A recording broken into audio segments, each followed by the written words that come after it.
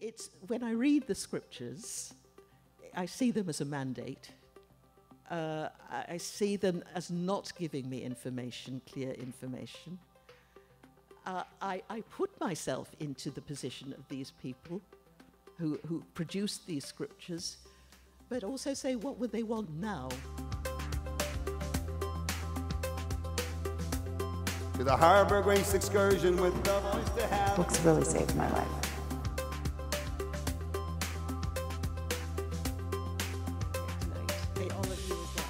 Lovely to be back in Toronto. Thanks for being here. I thought it might be um, appropriate to begin with just a simple question about the title of your book. Um, the book is called The Lost Art of Scripture Rescuing the Sacred Texts. What do you mean by the art of Scripture? Well, uh, when you uh, read uh, a a particular book, it's very important to know the genre uh, uh, uh, that you're dealing with. When you're reading Pride and Prejudice, you're not distressed to learn that Mr. Darcy or Mr. Bingley never existed. Um, and because even though this may not be factual, or, uh, you are learning something very important about the human condition. Um, and similarly, uh, the, the scripture in all traditions has a particular genre, that, and we, we no longer read it according to that genre. First of all, it was a performative art. Scripture was always sung or recited or chanted, uh, or is set to plain song or to music or polyphony. Um, and until the late 18th century, most people couldn't read. And so reading scripture today is a bit like reading the, the libretto of an opera. A, a, whole half of, a lot of it is missing. And scripture was always accompanied by ritual, which involved a lot of uh, physical movement. And neurophysicists tell us we learn a lot from the way we move and behave and our gestures, and all that is missing too. Uh, so that we read it too factually at the moment. Um, and uh, it, it also, uh, we look back on it. Uh, we, we, we've got a habit now of going back uh, since Luther, who wanted to go back to the early church. Uh, script, uh, and people are now redoing this in a really ridiculous way. I mean, so you've got uh, fundamentalists in the United States who are trying to revive the old Israelite uh, legislation and stoning, uh, stoning disobedient children, for example. Um, and in Saudi Arabia, people are trying to live in the, according to the mores of the 7th century. But we are not living in the 7th century. As scripture was always an innovative art, you were supposed to apply it to your current situation and change the meaning. Uh, but we don't do that anymore. You call it an art, but was it seen as an art back then?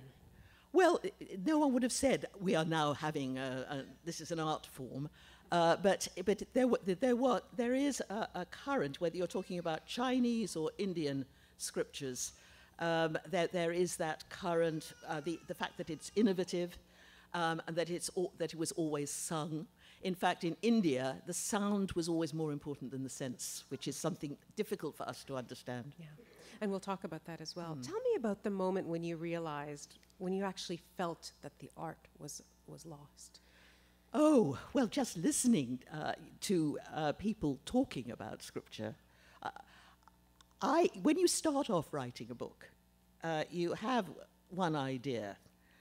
Uh, then along the way, you suddenly start seeing all kinds of different things. Um, so uh, I started off with the idea of, of scripture being a, a performative art and that it was sung and chanted and recited. But then I started finding all kinds of other things too al- al- along the way. Um, and, and that uh, made, started to make sense as you started to see uh, how uh, our attitudes have changed and how it's really incomprehensible to us unless we, we could recover it. We can recover it. Uh, and, and one of the things Scripture should be doing is pushing us into action all the scriptures insist that it's not just a question of me and my God and my salvation. Uh, you've got work to do in the world. What kind of action? Uh, two kinds. Uh, in the monotheisms, the, uh, the, the, the Judaism, Christianity, and Islam, the emphasis has always very much been about equity and justice. The prophets of Israel had no time for people who said their prayers nicely in the temple, but neglected the plight of the poor and let their rulers get away with uh, war crimes. Um, and Jesus was a, very much a social activist. Uh, and you couldn't get into the kingdom of God unless you were ready to feed the hungry and visit the sick naked and, and in prison. And the Quran is nothing but a cry for a just and decent society where poor and vulnerable people are treated with respect. Uh, in the, in it, that, this, uh, this is also very important in China and India, but in those countries too, you have a, a, a very important environmental uh, emphasis. Right from the beginning, uh, about 1500, the Vedas are very concerned about the fragility of the cosmos, and they start uh, creating rituals to try to help uh, support the cosmos. Now, obviously, these had no scientific valency, but what they did was create an attitude. And instead of seeing uh, the environment or nature simply as a resource, uh, it was something to which you had to give something back and, and to be aware that it needed cultivating. Um, so, uh, so, so those are the those are the two main. Thought, it, it must. It's not enough to read your Bible or have it read to you in church and then go home to lunch and forget about it. Uh, you've got, uh, you have a mission to the world. At the end of the Catholic Mass, the priest used to say, Ite missa est, uh, go, you are sent forth. And that, as I say, didn't mean just going home and, and having a, a pleasant time or just polishing your own spirituality. Uh, you had to go out into to society. As, as the Buddha said, uh, you must return to the marketplace after you've encountered enlightenment and back to the mess of human affairs and there practice compassion for all living beings. Now, the overarching message of this book is that you want those scriptures to be rescued. Mm. But I have to say that in listening to you now and in reading the book, sometimes I got the sense that you were also almost calling for, you know, make religion great again. Uh, you, is that fair? Is that a fair characterization? I, I, couldn't, I don't think I could have that attitude living in London. Um, the, the, the, uh, where, I mean, my, in London, my best friends don't read my books, let alone uh, uh, sort of, do, and, uh, I, you know, they would be amazed to see this. Um, and, uh, keep on asking me why I write this dreadful stuff. So, um, so no, I, I don't. I, I have very few hopes in that direction. Uh, but um, on the other hand, when I go and visit other countries, I mean, here, but also the United States, and also uh, Muslim countries uh, in particular, um, I find uh, uh, there's a great sense of urgency. Um, people want to, they want an active religion rather than some, and they're worried about the state of religion in their countries mm-hmm. here and now now that desire is parallel to a desire that existed, you know, for millennia and mm. among all kinds of different people, as you point out in your book. Um, you know, it's a, a, desire to sort of reach beyond what's sensed or reasoned or that we can see with our eyes and hear with our ears. Um, you start your book by describing a prehistoric artifact called the Lion Man. Can yes. I get you to describe that here now? Ah, it's a, a, a little figurine about 31 centimeters high uh, that's 40,000 years old. Uh, it was discovered in uh, a cave in southern Germany just two or three days before the outbreak of World War II. Uh, and we had it in the British Museum uh, on loan for a while. Um, and it, it, it, it is, you feel extraordinary reverence when you see this. And the Lion Man has a lion's head and a partly human body. And it shows that something has happened to the uh, human mind uh, because it can imagine something that doesn't exist. Uh, and, uh, and this is the essence of religion.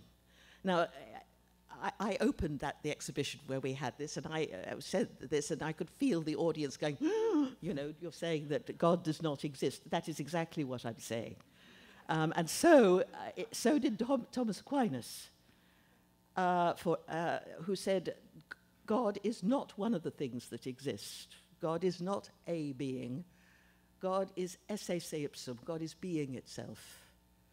Um, and, and unimaginable to us.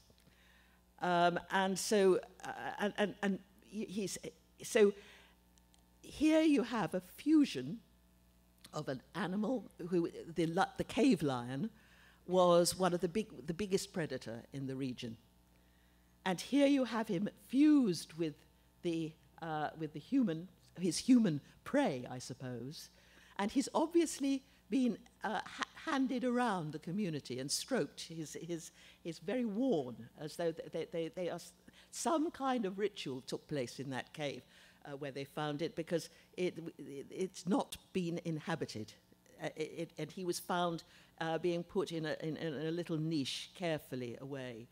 But what we're seeing is something that, does not, that takes us out of the real world, but is, is, is fusing a, da a danger and, and embracing a danger um, and making it, uh, seeing its, its instead of seeing them simply as an enemy, embracing the enemy, as it were. So, you're, you're, and, and this comes, I, I, I don't know whether we're going to get on to this, uh, it shows that it, this is a right hemispheric. Uh, it, it's, it's activated by the right hemisphere of the brain, which uh, is the part where, which sees the connection between things. Uh, uh, just as we see the cave lion here. W information reaches us through the, we don't see the world as it really is. Our brains filter things through to us, we, see, we receive the information first in the right hemisphere, where we see the unity and interconnection of things, as, as you do with Lion Man there. Then it passes to the left hemisphere, the more analytical side of us, where we say, what is this? What, how, how is this going to affect us? Then it should move back so that you have a balance. Yeah.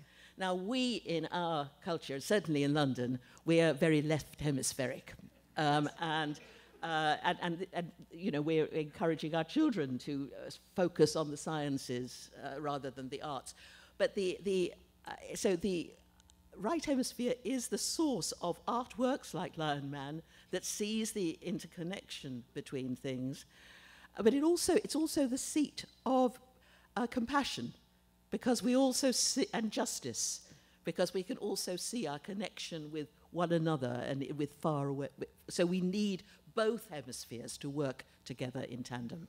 And we will get into that a little yes. bit more as well. I, I, wanted, though you raise it, and one of the symptoms, for lack of a better word, of, of, of that kind of uh, practice being done on the right, right side of the brain is that, as you mentioned, most scripture was actually oral at the beginning. Yes. I just wonder what does that orality tell you about scripture itself?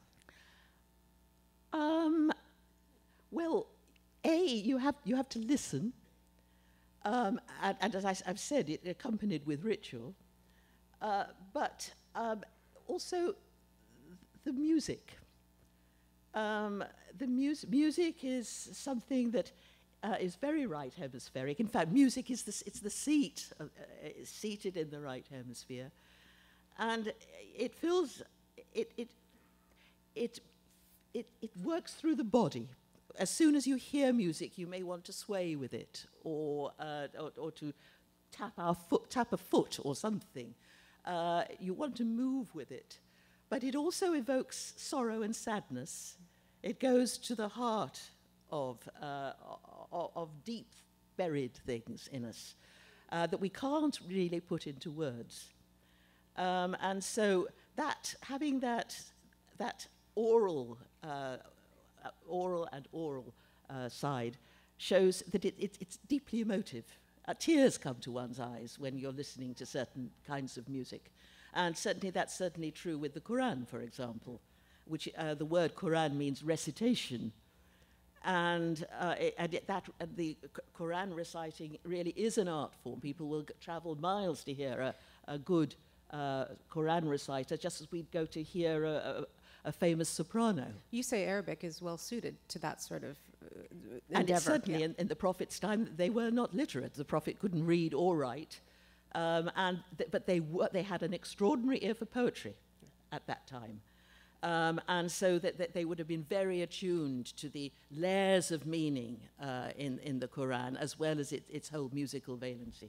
So the oral was important, the spoken was important. So I wondered, you point out in the book that, that Moses, I didn't know this, that leader of his people who was the receiver of, of God's law, actually had a stammer. Yes, and I think that's very important. Why? Uh, because he tells, at one point, he, he's saying to God, Look, why have you chosen me as a prophet? I've got a terrible speech impediment. I can't speak. No one can understand a word I say. And uh, God says to him, Don't worry, your brother Aaron is a good speaker. He can convey this uh, to the people for you. And um, so we're getting, what we're getting is God's words at least secondhand, and you wonder how much Aaron really understood of what was going on. um, and, uh, uh, and so, um, but the point is that Aaron is also nice, voluble, clear, clear speaking Aaron is also guilty of the archetypal idolatry. He, he's the one who gets the Israelites to worship God in the form of a golden calf, which is seen as the archetype. So that you have here a sense that clarity is not that, that God is speaking through removes, God is not something easily assimilated. Now, this is, um, this is not the way we think about God today. We talk about God very loosely. God wants this, lo- loves that, hates that. Uh, we don't know what God is. We are hearing, as I say, his words through a, at second hand at best, um, and, and too much clarity, too much putting God into a particular form uh, is idolatry. Because, and if you look at the book of Genesis, for example, you start off in Genesis, uh, in chapter 1, with a, a picture of everything that a God should be. Uh, there he is in total control, totally powerful, just has to speak a word and everything comes into being, totally fair, blesses all that he has made. He's no favorites. He sees that they're all good. Um, but then, uh, three, three chapters in, this God who is in total control has completely lost control of his creation.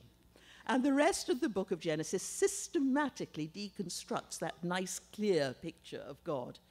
The benign creator becomes a cruel destroyer in the time of the flood, uh, wiping out nearly the whole of the human race in a, in a fit of what can only be called pique um, and, um, and then shoves a rainbow in the sky afterwards as a kind of consolation prize. um, and the God who uh, was so fair and blessing everybody, it shows monstrous favoritism. Right from the start with uh, Cain, he refuses his sacrifice for no reason and uh, puts an iron in, in Cain's so- soul, and you have the first murder. Um, and finally, uh, uh, Jacob, Esau, you know, uh, the, the, you hear the, the, the sorrow of, uh, of uh, Esau, the rejected one. Have you no blessing for me, Father? He says to, to Isaac. Father, bless me too. And nothing can be done. Hagar, who's dumped in the wilderness by Abraham with her baby son at God's command. And this is the world we live in, where uh, things are not in the control of a nice, benign God, where, uh, where terrible disasters happen. We see it on the news, uh, where we see the total unfairness of life, which life is not fair. And at the end, the God who was continually intervening in human affairs at every opportunity at the beginning of Genesis just fades out. And Joseph and his brothers have to wrestle with their dreams and insights, and, and, and just as we do. So, what that, and, and in all the scriptures, they are saying, do not think you have a nice, clear image of God. When I was uh, eight years old, I had to learn this uh, catechism answer. Uh, what is God? They asked. And, and, quick as a flash, in a single sentence, we had to chant God is the Supreme Spirit who alone exists of himself and is infinite in all perfections. Wrong. Uh, God, A, the whole idea that you can simply sum up God in a single sentence is, is, is a disaster. But God is not a being. He's not a spirit, not even the supreme spirit. Note what Thomas Aquinas said. Um, and um, so, so, so uh, but the point of that, that catechism, the catechism, many of you may have done, had, had this too, they were compiled after the Reformation by both the Catholic uh, clergy, the Catholic leaders, and Protestant leaders to prevent people from reading Scripture. The, the, the, uh, the uh, reformers, the Protestant reformers, as you know, thought it would be easy, as, as, as Zwingli said, Scripture explains itself. It's clear. Uh, uh, Luther said that a simple man with his Bible uh, knows as much as any uh, council of bishops. Assuming that it's the Word of God. Yes, but, you, but the, the Word of God, as we've seen with the Moses uh, Aaron debacle, is, is not clear. And, the, and the, the reformers soon found that because they couldn't agree on basic issues uh, and they were at loggerheads from the very beginning. They couldn't worship together because they couldn't work out what God meant by what Jesus meant by Eucharist. Um, and th- this this kind of thing happens, and so they unless so they made a ruling that unless you could read Scripture in the original languages in Greek and Hebrew, you mustn't read scripture. You must read it through these filters of catechism that gave you clear doctrinal answers that have no valency in scripture, uh, and take out the mystery of God and reduce God to a set of untenable doctrines. I'm interested in the, in the times even before that when people were encouraged and did did not think literally that they believed their own scriptures, that they, that they are, you know, the words of God, that they were thought on the right hand, right hand side of the brain. You write that, bef- that before the early pre modern period, for example, scripture was open ended, that it was fluid, it was adaptable, it was changeable. Can you tell me how? Yes, uh, yes, indeed. The, the best way to introduce is, is through rabbinic midrash. Um, after the loss of the temple, uh, which was destroyed by the Romans in the year 70. The temple had been the, the pivot of Jewish religious life. Without it, Jews could not read the, the old scriptures in the same way. Um, but they didn't just dump the scripture, they developed uh, midrash, and uh, the, it, that comes from a Hebrew root, darash, which means to go in search of something. I, that is, to look for something that is not self evident.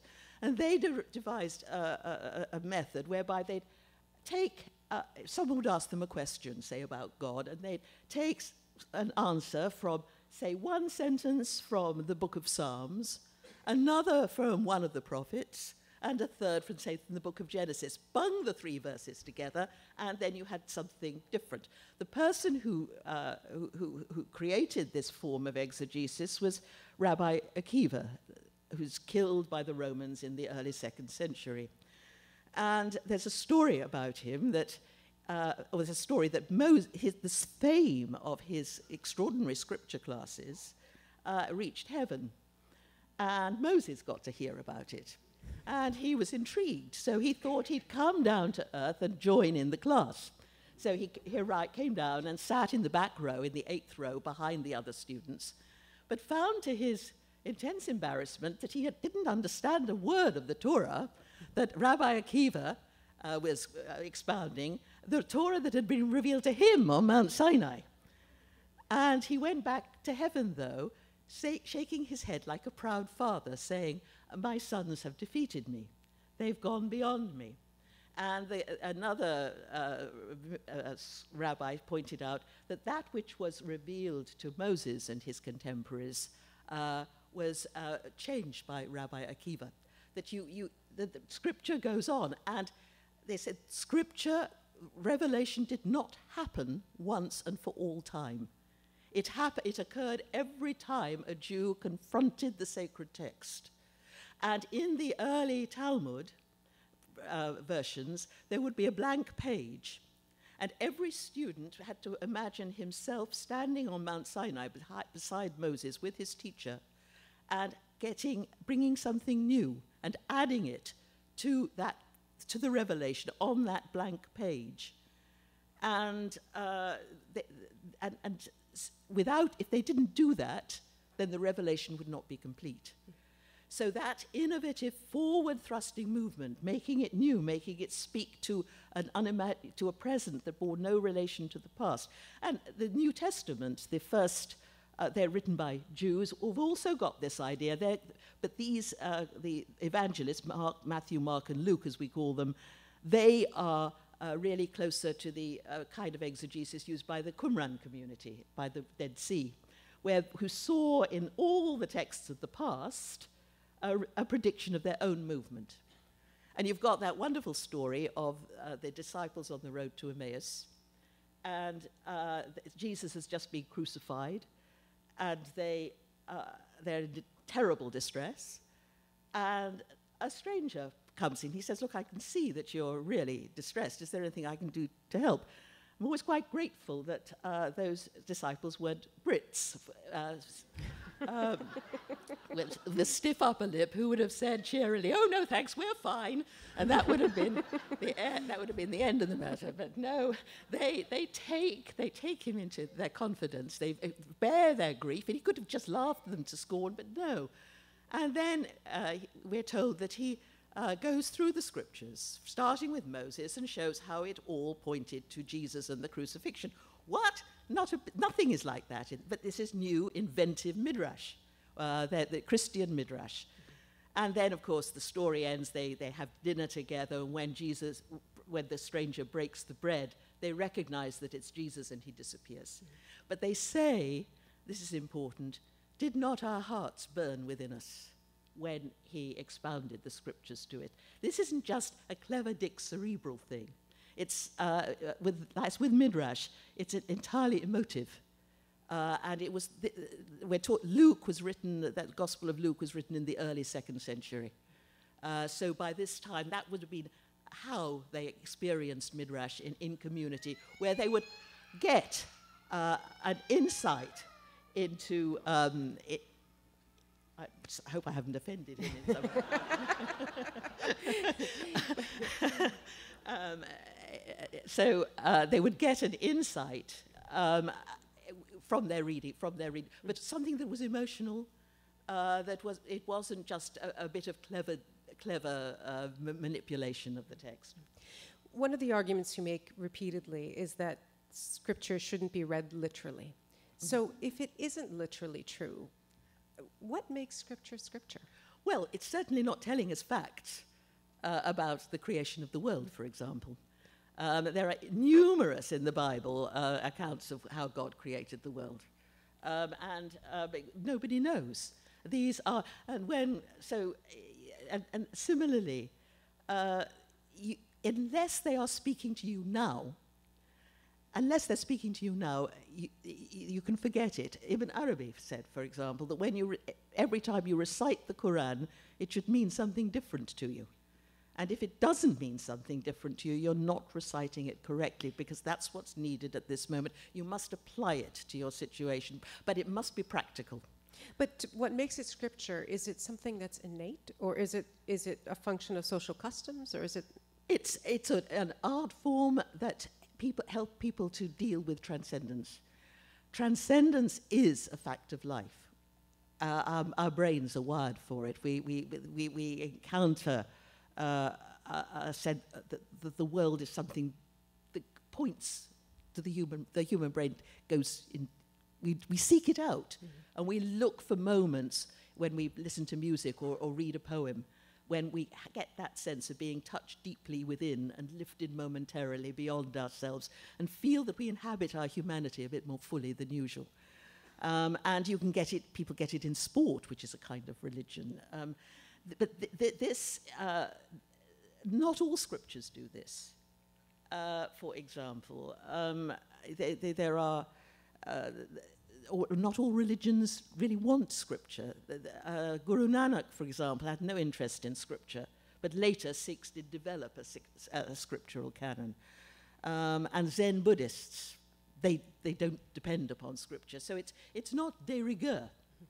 Uh, but what was your question exactly? Well, just what, I mean, in a way, you, you, you, you give me a better question, which is how is it different than a poem? And, and, and in the way that it, as you say, it, it touches you in a, in a, a specific way. But how do you distinguish between a scripture and a It po- poem that does exactly because it thing? points you to practical action. Um, practical action. It's no, as I said earlier, it's no good just having a nice little warm glow in church and then going home to lunch. Um, you've, uh, the, you must. The, the prophets of Israel, for example, had no time for people who said their prayers nicely and neglected the plight of the poor and the oppressed. Um, and so you, must go out and work. The, the, the Buddha, for example, is uh, the very good story of told in, in the Buddhist scriptures about him that after he'd achieved enlightenment, he had the inconvenient thought that perhaps he should help other people to do this too. And, and then he thought, no, I don't want to do that. Um, he said, this, this demands, uh, it's very demanding, and uh, people uh, are going to have to give up their ego, their sense of uh, self, and, and they don't want to do that, and it's just going to be too depressing. I'm not going to do it. At which point, Brahma, the god in the highest heaven, uttered a terrible cry. And then he said, The world then is lost. The world will be utterly lost. And he descended from heaven and knelt, the God kneels before the enlightened man. And he said, Lord, please preach. He said, Because look at the world. And it, the, the, we are told that the Buddha looked at the world with the eye of compassion and spent the next 40 years of his life tramping through the villages and towns of India, helping people to deal with their pain.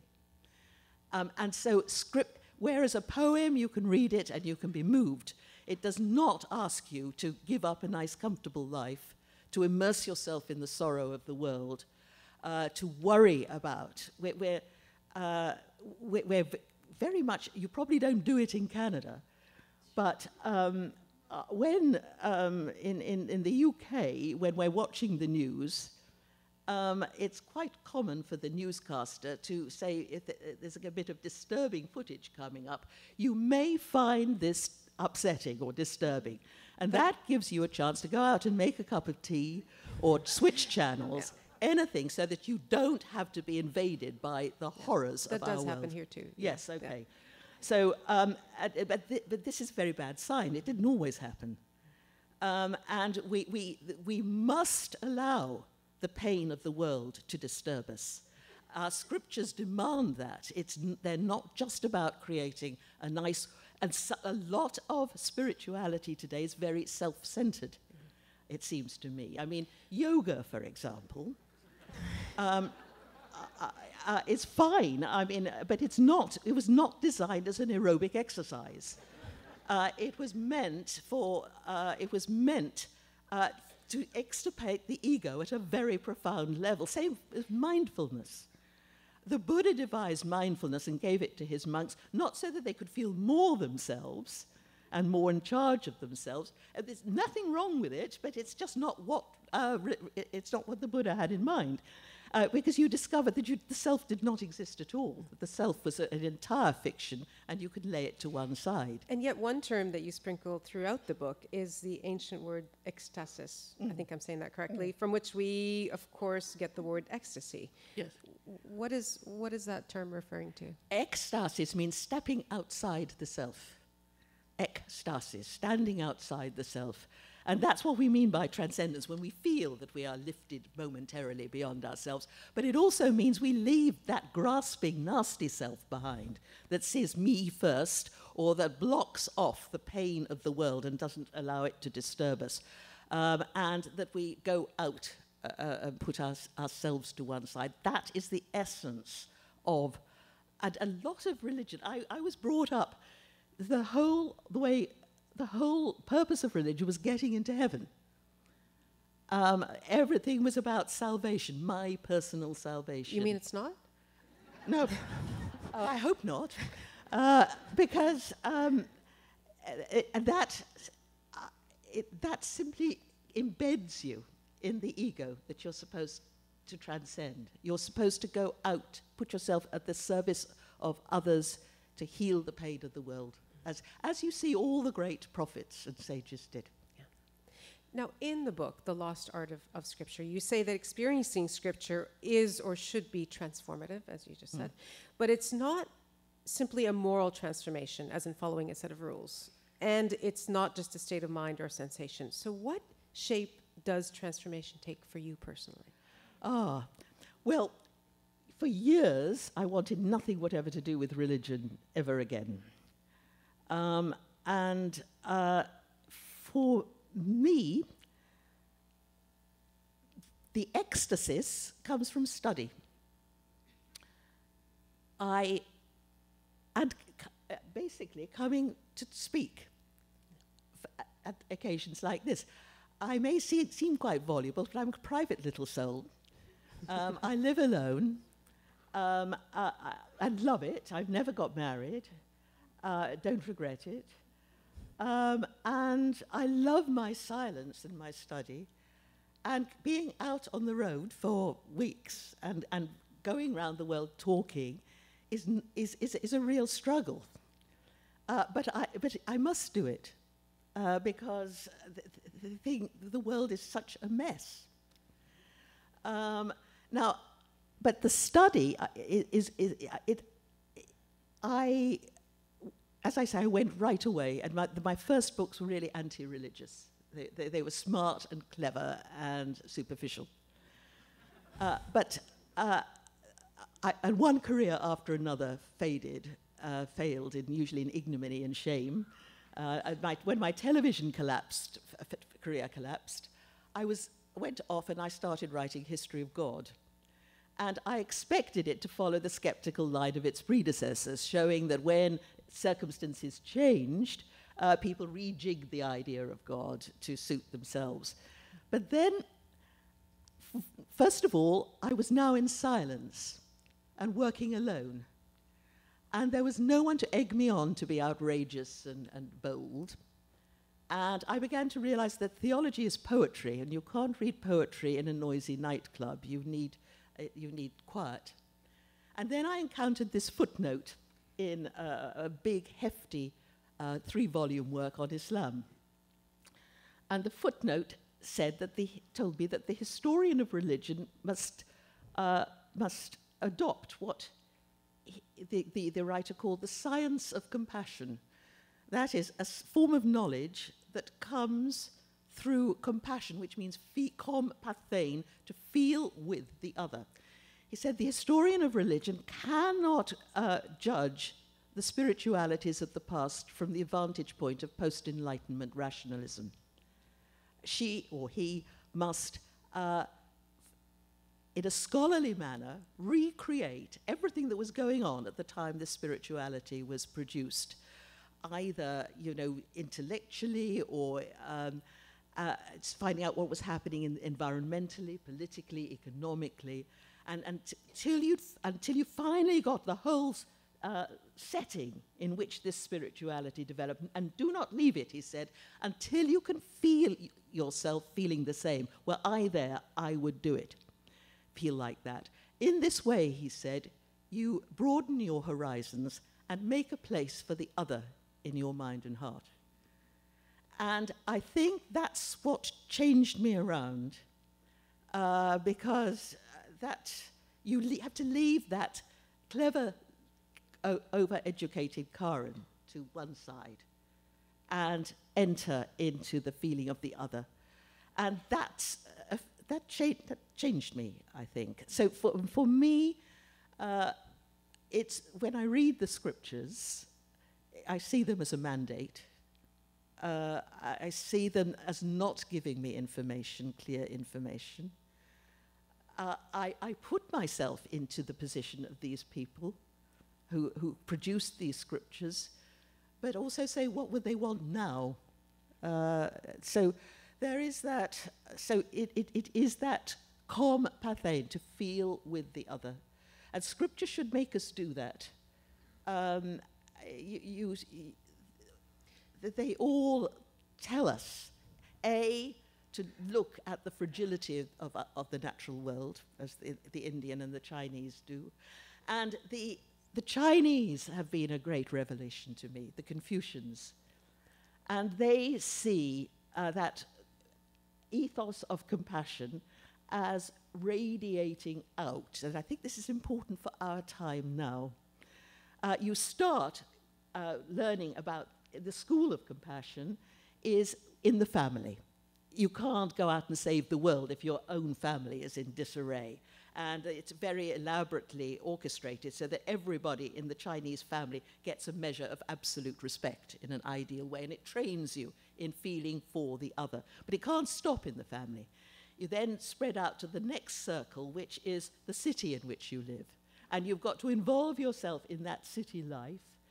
Uh, and I'm, for example, I'm incensed by the fact in London that 25% of the population in this rich city are living in poverty.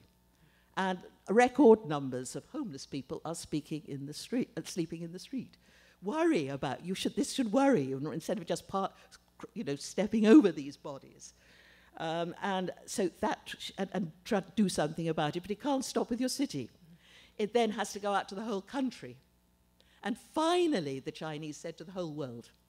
And I think that whole that that ethos of reaching out to the whole world is essential at the moment when we are retreating into nationalistic ghettos, like Brexit, for example.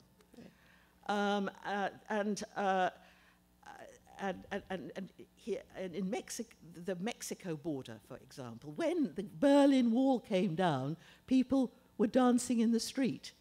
But we saw people cheering at the prospect in the United States of a wall between uh, Mexico and the United States. I mean, this, this was just, it's, the, uh, we're, we're looking at the way the migrants are dying, literally dying every day to try to get into the UK. We've just had this hideous incident of 20, uh, four, 29 people being yes. suffocated in, in a refrigerated van from Vietnam. And yet, all we're thinking of doing is keeping them out. We can't live like that in our world now because we, those concentric circles, because of our communication with one another, electronic communication, uh, it, economic in, interdependence. We, when stock markets fall in one part of the world, they stumble all around that day. Uh, we, this is a, this retreat into narrow ethnic nationalism is a denial of what our times are supposed to be. So I, all, I got all that from, from Confucius, that we have, all of us, a responsibility to reach out to the four corners of the world. I'm just curious on this very point. Did you read scripture differently when you were a nun? Did you see this global picture when you were reading back then? No, not at all. You see, we were Catholics. We didn't really read scripture very much. uh, uh, we, um, and, uh, but we, we chanted it. Uh, and uh, there came, uh, there was a moment. I, I, was telling you, my guests, the, the, the other night, last night, uh, I, I, entered in 1960, the 1960s uh, during the, the, Vatican Council. And we we chanted the Divine Office every day, which we went, went through the whole Psalter, the whole Psalms, every, uh, every week, chanting them uh, in Latin. Then the dictate came through that we had to do it in English. And a lot of the sisters were thrilled about this because a lot of them didn't read Latin. I, I, I could manage it. Um, and they said it would be lovely to be able to pray it properly because we'd be able to identify and understand what the words are. But not all the Psalms are very edifying. um, you know, the Lord is my shepherd is lovely, but there are a number of Psalms which are blood curdling in their wrath. Uh, where the psalmist imagines in great detail what he'd like to do to his enemies or what he'd like God to do. So if you can imagine a large room, a large chapter about this size, filled with British nuns, very restrained, polite, uh, some of them born in the Edwardian era, chanting politely, Oh God, smash their teeth in their mouths. uh, and uh, well, we just did that. We, we just collapsed in mirth. I could not go on. I mean, the sheer incongruity of it. So, uh, uh, uh, the, but the only way we could get over that was going back to the old way of chanting it and not taking any notice of the sense. Mm-hmm. Um, and, and yet, I can see now, I, I, don't think I understood it then, that that was a way of getting rid of the self in a way. Mm. Uh, it, it, it's what the uh, you, you, you, so you're not seeing applying all these words to me or mine. Uh, the Psalms represent the whole of humanity. We are a violent species. We want to smash people's teeth in. Well, just, just on that point, you acknowledge, you, you, acknowledge that every scripture tradition has in it passages that advocate violence. Yes. You, you do come across that uh, more than once. Yet you also say that every religious tradition advocates for the other. You talk about the compassion, mm-hmm. uh, that, that that message is at the heart of every single mm. scripture. I find that circle kind of hard to square. Yeah, but of course. It, it, it, look, can you do it? Are yes. Do it? Basically, the scriptures are not from God. There are scriptures. We write them, uh, but we may be inspired, or but but we're a very violent species. We are the only, I, you may correct me here, but I think we're the only species that kills their, its own kind. And we have these big brains that have enabled us to slaughter them very effectively, and we do it. Uh, we, are doing it uh, we, uh, as we speak. Um, and so we have to own this. It's no good sitting in a little sort of spiritual ghetto uh, singing, The Lord is my shepherd. We are also a species, and we all feel at some stage they'd like to, we'd like to smash someone's teeth in. Uh, you know, I certainly get filled with rage sometimes. And we've got to acknowledge that within ourselves. Um, and so, uh, and see it for what it is.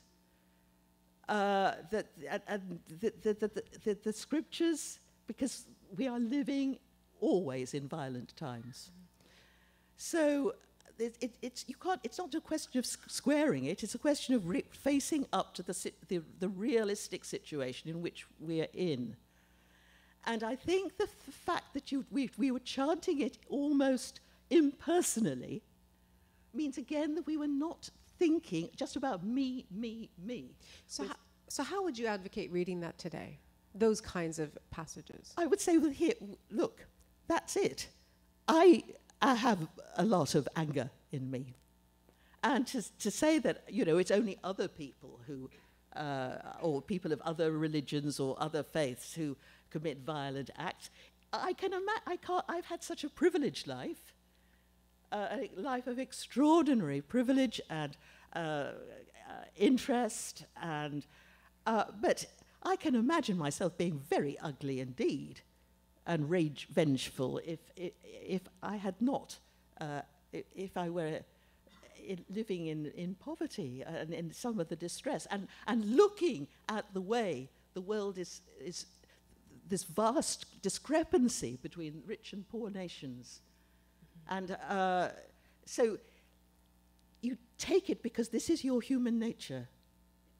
And don't just press, you know, uh, think that we're just all sweet souls. That, there is that violence in all of us. So, how much of that informed your decision to be involved in uh, 10 years ago in unveiling the, the, the, Charter for Compassion? Yeah, well, what I noted, I, I got this TED prize. Uh, TED give, gave, used in those days to give prizes to people whom they thought had made a difference to the world, but who, with their uh, help, could make more of an impact. And they give you a wish, gave you a wish for a better world. And so I had been, was sick and tired of hearing religious leaders coming together uh, to uh, sort of uh, inveigh against homosexuality, for example. Or uh, you nev- what you never heard them saying was talking about the Golden Rule, which is in every single scripture never treat others as you would not like to be treated yourself. And that you had to apply to everybody, not just to the people you like, because that's what the world needs unless now we learn to ensure that all peoples, whether we like them or not, are treated as we would wish to be treated, the world is not going to be a viable place.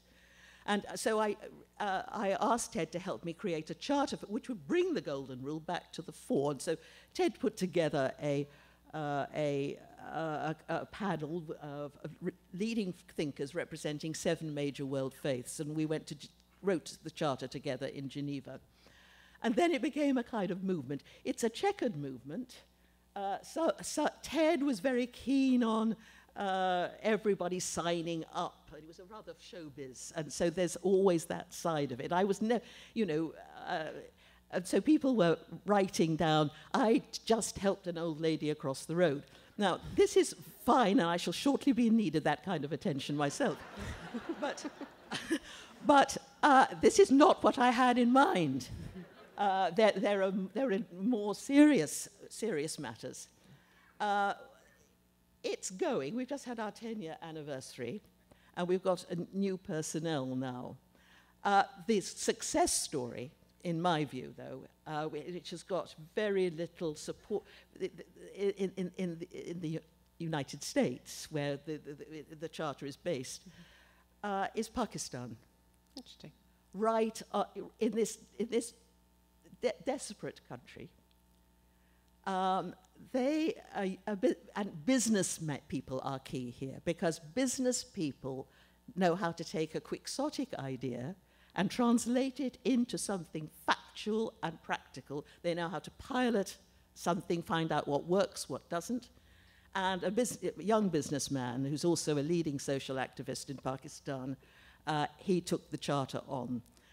And he, he said, we're making Karachi one of the compassionate cities, he sent out a questionnaire uh, to all Karachi citizens, what would you like compassionate Karachi to be like? They, what you like us to concentrate on? They said education.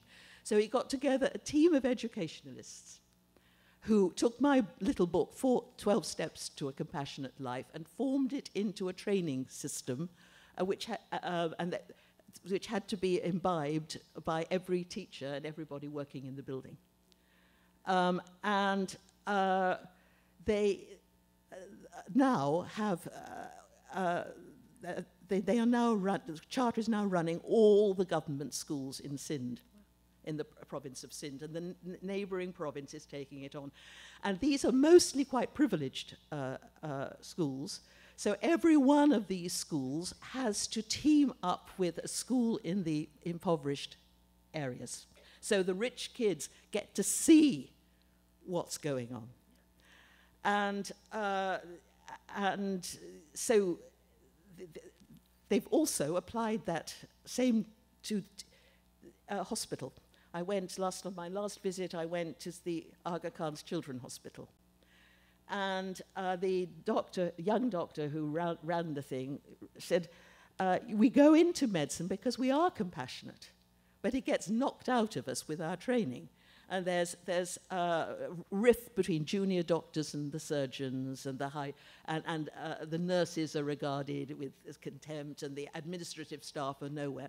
They've gone through this training system, and the hos- and the, they said the culture of the hospital has completely changed, and the children are going home two or three days earlier as a result. And now that's beginning to be taken. That that system is being taken up by other other hospitals.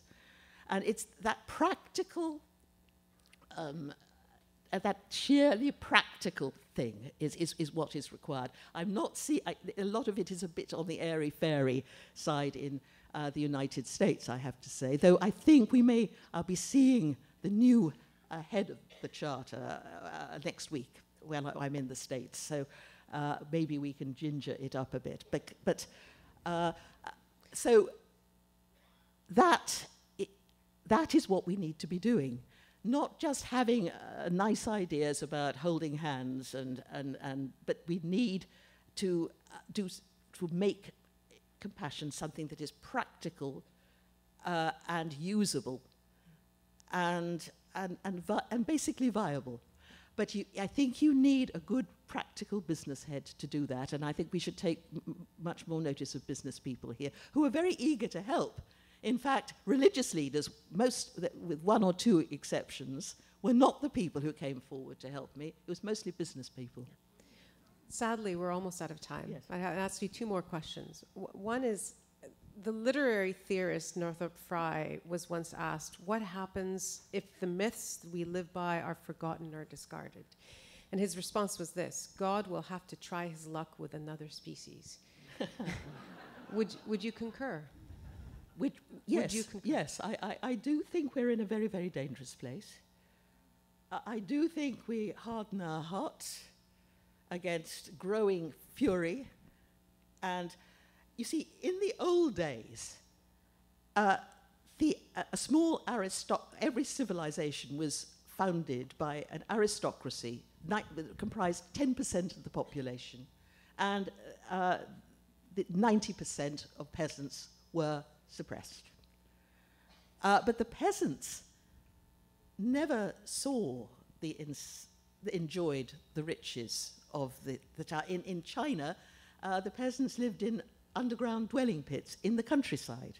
They never entered the cities. They never saw the beautiful things, the beautiful urns and inscriptions that, you, that were produced, uh, the, the wonderful riches of, of, of Chinese civilization. And that applied all the way through. But now, that with our divide, we flaunt our wealth uh, on, on the social media and advertising. They see this vast inequity, and there's growing anger. And hence the, the, this flow of migrants literally dying, uh, and, and rage and distress. Um, and this, I, I, I fear for this very much. I think we're at the beginning of, of, of some major, major crisis. And we still, and, and yet, our whole, uh, we're retreating, as I said earlier, into Brexit like ghettos to try and block out that pain. Uh, and it's, it's not sustainable. And the scriptures tell us go out there, go out, extend your compassion right out to the rest of the world. Unless we do that and just confine ourselves to singing a few hymns in church once a week, uh, then uh, religion will, will be failing the, the traditions that are in, our, in those scriptures uh, that, that were pointing out uh, that we had to see that the, the, the sacred core in every single human being.